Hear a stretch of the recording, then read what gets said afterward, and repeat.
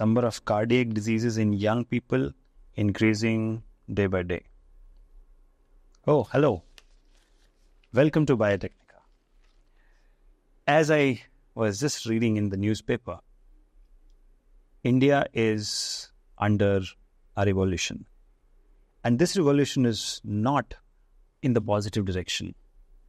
All thanks to the capitalist economy, pollution, lifestyle diseases, junk food, and whatnot, we are faced with bigger health challenges as we speak. So that means we need to address this problem faster. Reading news in the newspaper is like doing postmortem. After the patient has died, you can't really do anything. The time has come that we prevent diseases before even it can happen. The time has come to diagnose diseases at an early stage and detect and alleviate. The time has come to save lives. The time has come that you and I understand the importance of artificial intelligence and machine learning. Now, there is a reason why I chose to start this video with a newspaper, and that is because, of course, newspapers today are obsolete.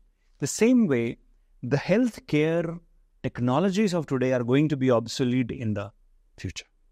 Now, I'm not saying that newspaper is irrelevant. The same way, those technologies will not become completely irrelevant. But newer technologies powered by AI ML will come which will revolutionize healthcare. Now, as biotechnologist, as bioprofessional, life science researcher, you are going to play a pivotal role in this industry. So, today I'm going to talk about probably 10 to 15 different aspects of applications of artificial intelligence and machine learning in biology, especially in the healthcare sector, especially in the disease biology sector. Last time, when I uh, made a video about latest in disease biology, it was well received, and many of you said that how can we apply artificial intelligence and machine learning into disease biology? So, to start with, first things first, once you have the disease and it has got diagnosed, if it is diagnosed at a late stage, then it is too late to save the patient. That is where artificial intelligence and machine learning will come into picture to perform early disease detection.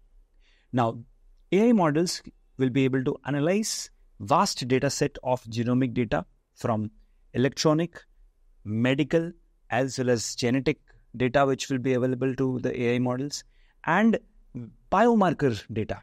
And combining all of that, artificial intelligence and machine learning will be able to uncover subtle patterns that may indicate a possible early stage disease. For example, right now, I don't know, I may have an early onset of diabetes. Only when I go for a blood test, I may know that I may be having diabetes already. But what if I know the exact date and time when I'm going to have it in the future? Of course, time is going to be difficult, but probable, probable day that if you continue this way, this is the probable age when you can get diabetes so that I can take action and prevent it. So that is where early disease detection. Now, this is where big data biology will play a huge role. Now, by harnessing the power of big data and machine learning, artificial intelligence will be able to detect signals that would otherwise be invisible to the human clinicians. Now that's something wherein we are looking at vast amount of data set, probably uh, a billion data set, and we are able to predict in a particular population that this is the pattern. So by this age, they all are going to have this kind of a disease. Now this will lead to early screening, early monitoring, and faster diagnosis and effective treatment strategies for such probable patients, right? The third aspect will be obviously multidisciplinary approach. So if we are able to implement AI model, we will be able to detect early and that will lead to a closer collaboration in between computer scientist, biologist, clinician and other healthcare professions. And that is where you come into picture. So multidisciplinary approach will be there for early disease detection. Followed by that, next which I have for you, next pointer which I have for you will be personalized medicine. As such, pharma companies can never ever make personalized therapies. Why? Because it's too difficult for them. But with the advent of computers, quantum computing or and the AI era, we have multiple datasets available. So utilizing that dataset, we can personalize the therapy for a particular patient. Especially this comes handy in cases of rare diseases, cancer, HIV, and such diseases. So this is where machine learning algorithms can predict individual responses to the treatment on the basis of person's unique genetic makeup, environmental uh, factors, and lifestyle data. Now, we will be able to provide and deliver healthcare in such a way that it will be personalized in nature. We'll be able to deliver targeted therapies that are optimized for each patient's needs. And that is where our AI ML models will work like a charm. We will be able to optimize the dosing. Sometimes we all are giving one size fits all. So Dolo 650 means everybody is taking Dolo 650. What if you are needing a little higher dose, or what if you are needing a little lower dose? That part we will be able to analyze a patient's biological profile. We'll be, we'll be able to analyze this using AI model, and then we will be able to recommend optimal dosage. We will be able to recommend optimal timing of medication. We will be able to improve the efficacy of medication, and we'll be able to reduce the risk of adverse side effects. So that is where personalized medicine we can do a lot of things. Now, when it comes to disease biology, we will be able to do a disease risk prediction. For example, if you remember, uh, whoever was old during the COVID time, we said that, hey, you are old, so your chances of getting COVID is high and uh, recovering is very low, recovery rates are very low, so let's prevent you, protect you from the disease, right? So that exactly how we did, that was human intelligence. But what if we could do it at a mass scale? we could analyze billions of population data and then we will be able to say that okay we will there is a pattern in this so this pattern uh, of all the individual data set which we have we will be able to predict the risk of a particular disease in a particular location and then we will be able to do early intervention and uh, proactive care that will lead to preventive, preventing preventing the onset of uh, serious co- conditions and managing more effectively and efficiently. So that is where uh, personalized medicine will come into picture and AI models will catalyze that. Now, followed by that, I have spoken a lot about drug di- discovery and development. Of course, that is something we know we will be able to accelerate the identification process of drugs. We will be able to do repurposing. We will be able to do optimized screening of all the drug molecules, and then we will be able to develop newer molecules using by adding more functional moieties right inside our computers using bioinformatics. So that is where again AIML will come into picture. Followed by that, we will have genomic analysis. So we will be able to unlock the disease insights. We will be able to use AI algorithms, machine learning algorithms, and we'll be able to empower the rapid process of analyzing vast data sets, genomic data sets, and we'll be able to identify mu- mutations. We'll be able to identify what is the pattern associated with the particular disease and why it is happening to a particular type of people and we will be able to use this technology this technique to facilitate more precise and personalized approach to medicine. So genomic analysis is going to be a great enabler of precision medicine like i told in the previous point. Medical image analysis. This is already happening. One of my friend has a startup in this already. So what we are doing is like i said newspaper is not going to be irrelevant. News is still going to be relevant, right? News, the paper part is going to be irrelevant. So that is where medical imaging analysis, so X rays will happen, MRIs will happen, but humans will not look at that data. Artificial intelligence will be looking at that data. Artificial intelligence and machine learning will first uh, learn all the X rays which is done in this world. They will be able to rapidly detect the abnormality. They will be able to automate the segmentation that this is good, this is bad, and this is ugly and we will be able to improve our diagnostic accuracy because human eyes make mistakes. So I know a person who to whom uh, it was uh, after looking at the X-ray, he was said that he doesn't have a fact fracture while there was a fracture, and AI detected that that he had a hairline fracture. So medical imaging analysis comes handy. Uh, will be increased with the chances and the speed will increase because of AI ML. Now let's jump in and look at some of the predictive modeling of disease progression. Now, this is my favorite. Now, why do I say that? Because if we can predict how a disease is going to progress, then probably we will be ready with our remedy. So that is where the first thing which comes in my mind is early intervention. Now, as AI is advancing, the algorithm will be able to predict models. It will have predictive models which will forecast just like how you forecast the weather. You'll be able to forecast likely progression of a disease over a period of time. It will enable the doctors to intervene early and proactively manage patient care. This is something which is dream come true. What if we know that how the disease is going to deteriorate the person, person's body and we keep giving him the right uh, mix of uh, medicine and nutrients so that he recovers faster. Followed by that, personalized treatment. Like I said, personalized medicine. Now we will have personalized treatments also. And there will be optimized monitoring thanks to AI because predictive models can identify high risk patients.